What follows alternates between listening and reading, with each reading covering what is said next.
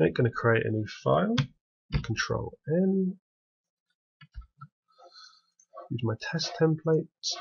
I'm going to call this camera example.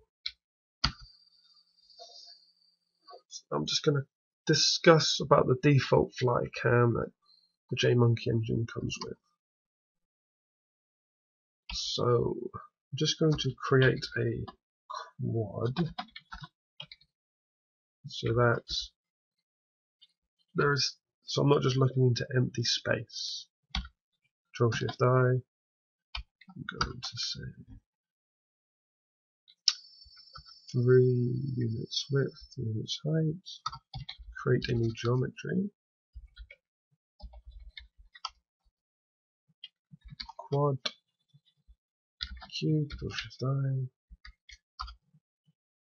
Add the material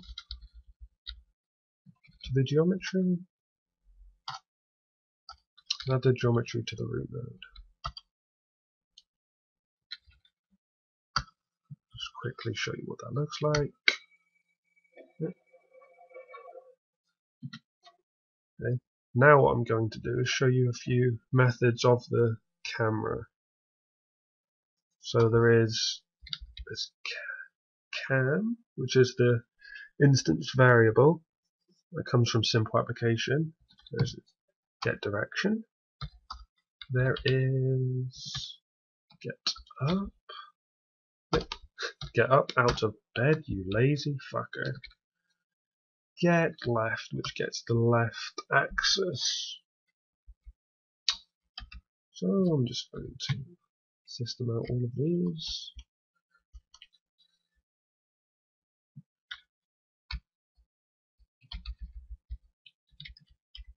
Paste. This is amazing. Shift F6, run it. I'll bring this up so you can see. So the direction is minus 1 because if you remember Z's towards us so minus 1 is away from us.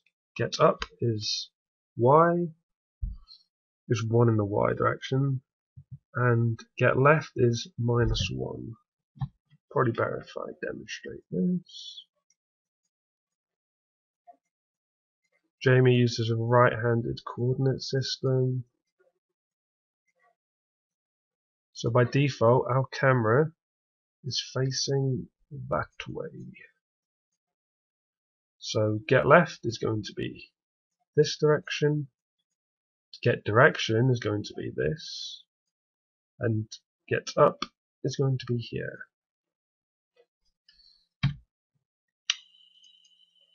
Okay, move this back down. So now, let's copy and paste this.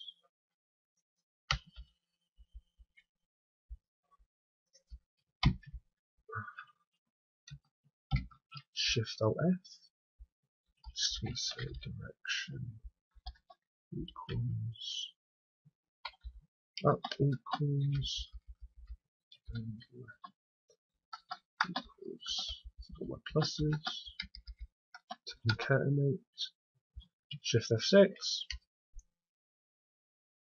oh, I should have probably moved this up beforehand. Shift F6 move this out of the way and now as I move you can see all of the vectors changing.